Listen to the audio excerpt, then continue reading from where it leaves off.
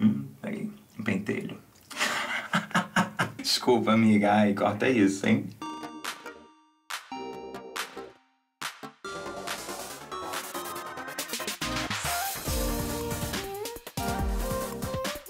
Olá, meus amores, tudo bem com vocês? Hum? Espero que vocês estejam bem bonitas, bem gostosas elegantes.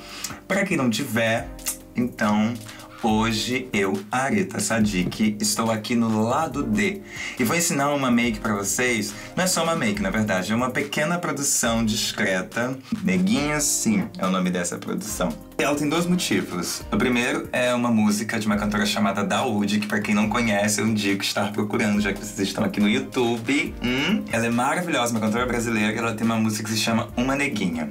Então, a partir disso, eu pensei nesse bafo aqui para ensinar para vocês. E um outro motivo é que um outro dia eu encontrei uma bi maravilhosa, uma negra linda, ela estava montada e ela veio falar um pouco que ela ficava muito insegura com questão de maquiagem, como fazer, a produção dela. E aí eu falei para ela que não tinha problema, né? Que tudo certo, amiga, vai aí, se joga, vai fazendo e é assim. Então eu fiquei pensando sobre isso e a ideia hoje é ensinar uma make para vocês com coisas muito básicas, assim. E se vocês conseguirem fazer com menos que isso, aí vocês façam um tutorial e manda para mim porque eu quero saber, tá? Então vamos lá. Primeiro, um kitzinho básico, é que eu gosto muito de valorizar o tom da minha pele, papapá, N questões que quem me acompanha já sabe. Tem do tom mais escuro ao tom muito claro, né? Bem branco. Essa base aqui que é bafo, tá? Que é uma base bem do tom da minha pele. And um pó. E aí, pra dar aquele lacre, um batonzinho vermelho, uns cílios, porque senão ninguém merece, vai sair de casa pra quê? E um delineador. No meu arsenal maravilhoso de maquiagens, eu tenho muitos pincéis. Mas hoje eu vou ensinar com esse aqui, que é um pincel pobrezinho pra senhora, que só tem dois reais. Let's go, babies, let's go! Começando, eu uso um potezinho, que é esse aqui, que é onde eu aplico o bafo. O bafo, eu quero dizer a base. Vamos começar aqui escurecendo a pele. A gente faz esse processo que todo mundo já sabe. E aí uma coisa importante, eu acho que eu já falei isso pra você, só que eu encontrei a senhora na balada e a senhora não fez, então eu vou estar tá repetindo, tá? É muito importante, querida. Aqui, ó. Orelha também é maquiagem. A orelha também faz parte do corpo, tá? Se a senhora fez um implante de orelha, pelo menos fizesse no tom da pele, querida. Uma das minhas grandes é, falas, né? A respeito da maquiagem para drag queens negras. Essa questão do nariz, ela, ela tem dois motivos, né? Basicamente, é as referências da onde normalmente se tem, se tira, né, para se fazer maquiagens de drags. Normalmente são referências brancas ou de é, ou de divas que são brancas. Então, por um padrão estético que a gente é obrigado a seguir, a gente acaba sempre fazendo aquele narizinho fininho, narizinho assim. Só que, querida, a senhora é preta e a senhora tem nariz largo sim e tá tudo certo, a senhora é belíssima igual. Então, assim, o problema não é fazer o nariz fino. O que eu quero dizer só é que a senhora tem que saber o porquê que a senhora tá fazendo esse nariz fino, tá bom? Passada a política, o programa eleitoral, voltamos aqui. Nós vamos usar aquele nosso maravilhoso pó. Esse, hein, amiga? Esse pó aqui, hein? Olha que como já, ó. Ó, querida, pele de bebê. Tá boa. Essa make que eu tô fazendo como eu disse no começo, são com produtos muito básicos. Então, obviamente, isso não te assegura que essa maquiagem vai durar a noite toda, mas isso salva a vida, né? Naqueles dias que a gente tá meio zoada no money, que o povo não tá pagando o nosso show, a gente usa esses produtos mais básicos. Eu tenho muitos tons de pele, né? E no próprio rosto, por exemplo, no meu rosto, três tons de, de cor negra, né? Na minha pele, só no rosto. E aí isso causa alguma dificuldade, né? É legal você pensar nesses nuances. Aqui tem um pouco mais escuro, aqui tem bem escuro, né? Que é da, daquela base. Aí tem aqui um pouco mais claro e aqui bem mais claro. Pele pronta, pele de garota, pele de voali. Nós vamos agora estar fazendo o olho. O olho é o seguinte, os olhos. Os olhos, porque ela tem dois. Os olhos são o seguinte, com esse branco que eu gosto muito, que é uma maquiagem que eu tenho usado bastante. Você que me acompanha nas redes sociais tá sabendo, já me viu. Então, querida, vou te mostrar o segredo de Pandora. Não a Yumi, tá? Olha aqui, que é jogar lá pra cima. Tem uma diagonal aqui e sabe que uma diagonal aqui, querida. Então, a senhora... Águia. É um detalhezinho, mas que pode tirar pontos no concurso, hein? Sobrancelha. Eu já tiro a minha metade dela para não ter essa questão na minha vida.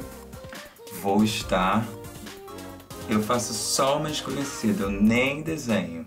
Se sobrar 50 centavos, é só puder comprar um lápis, ajuda. Mas se não puder também tá bom, amiga. Não vai deixar de sair por causa disso. Com... Sem com. No começo, não dá muito, vai aí assim, do jeito que a senhora tem, com o básico, não vai deixar de sair por causa disso. Até porque as rainhas pretas, elas têm que estar no rolê. Olho feito, querida. Belíssima. Agora vamos para os cílios. Como a senhora é boa de boca, que eu sei, eu não preciso nem ensinar como é que se passa um batom. Minha amiga, a senhora arrasa. Cuidado com o dente. É isso, amiga. Ainda não acabou, tá? Essa é a primeira parte, primeira make, pra senhora ficar bela e garota. Agora eu vou ensinar a você como fazer uma maravilhosa coroa de rainha, tá? Que se chama turbante. Aí, tem várias formas de se fazer um turbante, tá?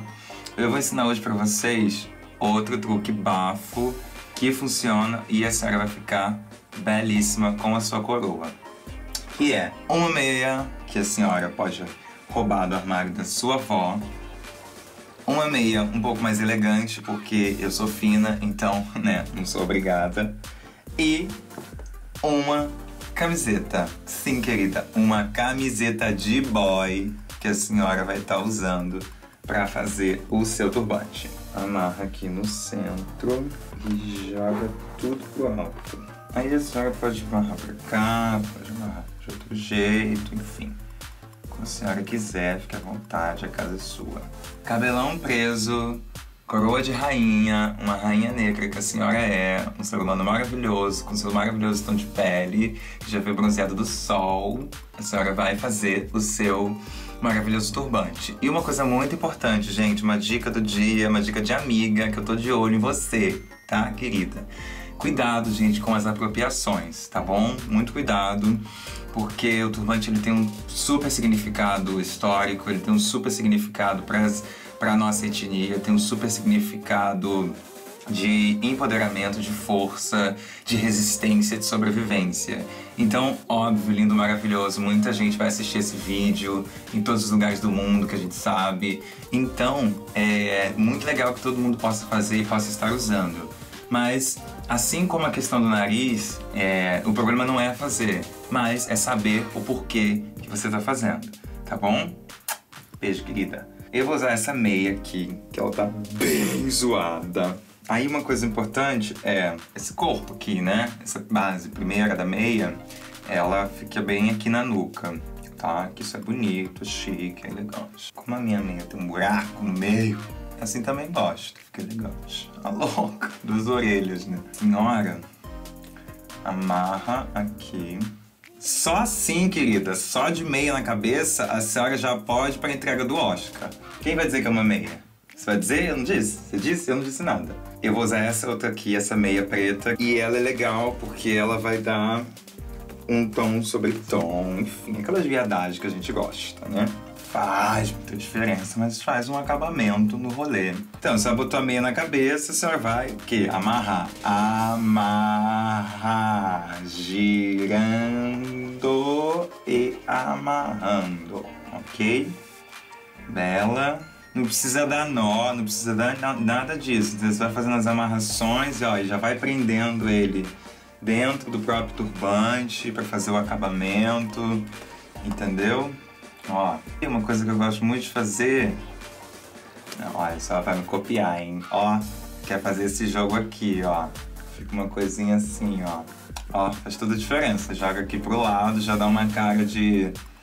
Ah, do banho. Maravilhosa de preto, que a senhora já viu que é assim, desse jeito que tá, a senhora já pode sair. Mas se a senhora quiser dar um, um brilho na sua produção, pega a sua camisa. Aí o que é legal, a senhora dá uma dobradinha aqui, ó. Se quiser deixar mostrar o preto, se não, não deixa. Enfim, você decide conforme seu coração mandar. Com as mangas, você vai fazer o mesmo processo anterior, que é de estar amarrando. Aí eu vou fazer o seguinte, amiga. Eu vou amarrar pra frente. Eu gosto sempre de jogar pro ladinho, pro ladinho esquerdo, né? Igual eu fiz ali de lado. Fica uma coisa mais poderosa. Esse acabamento é como a senhora quiser. Mas o ideal é que a senhora nem precise amarrar. Ó. A senhora pode deixar um buraco aqui na camisa. Pode jogar aqui pra trás, ó. Jogou aqui pra trás, já foi, já tá bela. E a senhora já pode jogar pra cá, talvez, que já faz uma bossa. Aí a senhora vai ajustando. Tá pronta, belíssima. Vamos estar colocando aqui as nossas joias de família, tá? Herança, relíquia. Tcharam! Agora que a senhora está belíssima, tá? Está saindo para ir aonde? Para ir fazer uma feira, né? Vamos comprar uns bons chuchu, uns bons abobrinha, uns bons melão, que melão é bom com esse calor, a senhora ficar hidratada, ainda mais a senhora que usa aquelas coisas tóxicas que deixam a gente seca. A gente, não, senhora que eu não sou dessas. A senhora põe as suas joias de família. Essa aqui não, que eu não deixei, você não quero. Quero essa aqui. Mas, ó, maravilhosa. Bota essa também. Como o evento do dia é um evento básico, é uma coisinha assim não chame muita atenção, então a gente vai botar só umas questões, as coisas, umas 10 pulseiras, só pra ficar de boa. Os bons balagandãs do Bonfim. Ó, que maravilhosa que ela tá. Os balagandãs do Senhor do Bonfim.